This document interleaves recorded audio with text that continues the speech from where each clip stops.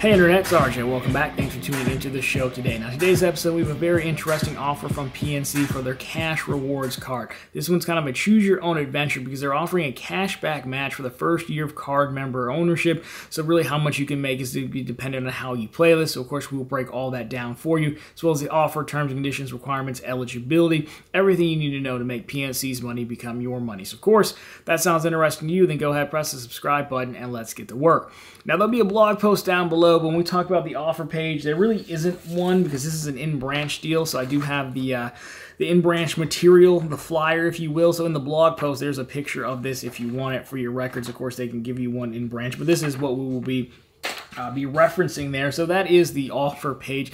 I will be the happy person for this one because this is a card I've wanted for quite some time. It's a very, if you know me from the main channel, you know I'm pretty heavy into cashback cards, and this is like an underrated sleeper cashback card out there in the game. So I'm very happy to have applied for it.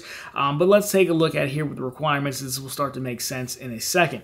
So again, the, the, requirements would be apply in branch and be approved for the new PNC Cash Rewards card. Now instead of like a, a spend threshold or spend requirement like you're used to, they're offering uh, double cash back. So earn double cash back for the first card member year, and the double cash post uh, to your account at the end of the at your first year. And that's really the promotion. So you don't have to like spend two thousand dollars or whatever. Now, if you go to the main page, PNC's homepage, you I believe you'll still see like the spend a thousand to get two hundred dollars offer.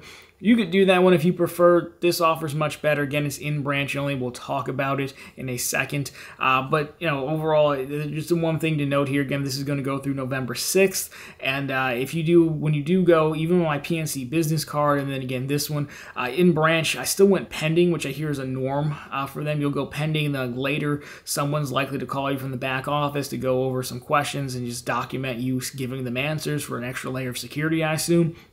Uh, so don't be surprised if that happens. Happened to me two times now with PNC. So not the end of the world, just you know delayed gratification, if you will. So there is that. Now let's get into eligibility here, and eventually the card and the strategy itself. So eligibility. Uh, again, this is going to be an in-branch offer. Uh, we'll talk about that in a second. There's also language in the terms that says if you physically can't make it into a branch, you can phone into the branch. I don't know how like uptight they're going to be with that. I don't. I don't think that's just a hey you can phone in just because you didn't want to go, you know, drive really far, but you never know. And of course, this is limited to one cash rewards uh, bonus in a two year period. So, uh, PNC, if you go to their branch located, which is linked for you in the blog post, they're in about 25 of the 50 states branch wise. Now, again, we try to make these offers, do offers on this page. They're just nationwide. But with them being in half the states and this being open until or early November, you know, I got to imagine, you know, many of us will, you know, you'll, you'll pass a PNC in your travels uh, somehow, which I think is, is worth it just to keep this in your back pocket.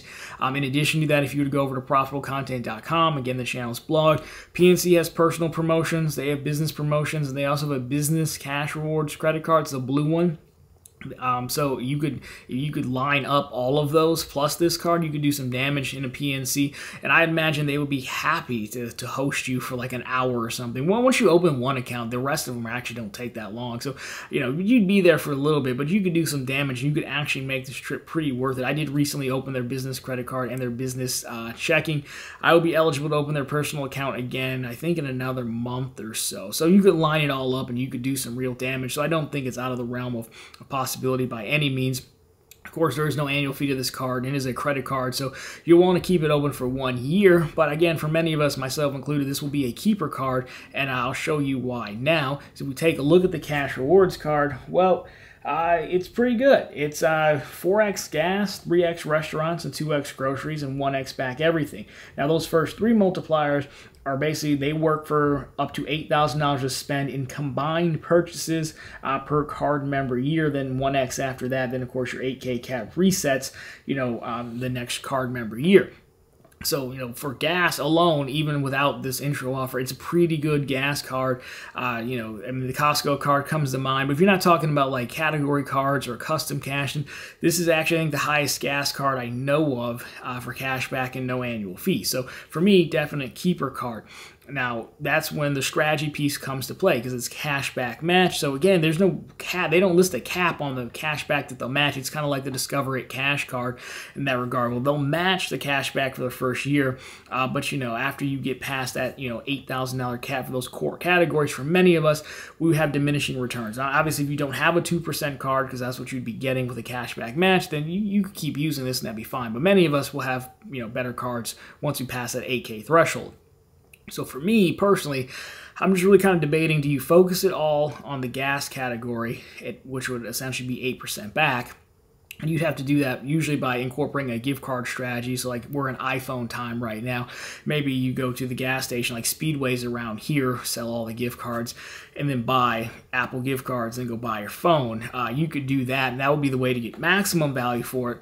The other alternative I've had is just incorporate it into my everyday life. For me, it would be it would be the top two categories. For groceries, I have the Huntington Business Voice, which I can select groceries as my category. It'd be 4x back, so I might as well leave that over there and then just focus it on over here. Between dining and gas and some gift cards, you would probably hit the 8K cap, I'm sure in a year. But again, it's Matt. Do you want maximum value? The greedy person in me says yes, or do you just want kind of ease of use incorporated into your everyday life? Because again, I don't have a six percent dining card. My closest dining card would be 5% or technically five and a quarter if I wanted to use my Bank of America customized cash via preferred reward. So you have options. So I'm debating just all gas gift card strategy and regular gas purchases or just kind of incorporating it for more ease of use. I mean, either way, you're still going to come out much, much more ahead than the regular $200 offer. So for me, this is a really good offer. I was really glad to be able to go and branch and apply for this card.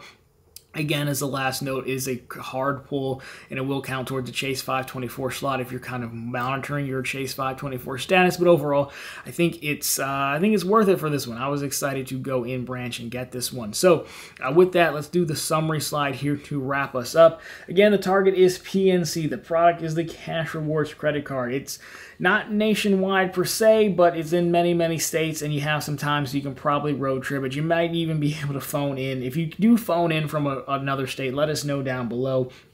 Um, again, your requirements are just going to be apply and be approved for the card. There's technically no spend requirements. Just uh, keep a running total of that where you're at on that $8,000 because there's no real reason to go over that and just kind of figure out how you want to do your spending. Um, again, there is this is a no annual fee card and you can close it if you want after a year. But again, for me, I'm going to keep it open. So again, guys, if this one isn't for you, or better yet, you want to stack on even more to PNC, well then check out profitablecontent.com. As the channel's blog, we have the latest credit card offers, uh, just like this one. Not as good though, but uh, uh, I hope to be as good as one. This one's this one's a unicorn offer, in my opinion. Anyways, we got news stories and we have other bank promotions as well. So you know, if you're gonna make a run, you might as well go grab a few offers. You can filter by states, you know, to really get your value out. And if you do that, let me know down below. I would love to hear your stories. But anyways, guys, that's gonna do it for this one. So of course, you liked it, drop me a thumbs up down below. If you're not particularly interesting, consider subscribing to the channel. We're posting content just like this every single week on how to make the bank's money become your money. As always, thanks so much for watching. I'll talk to you very soon in the next one.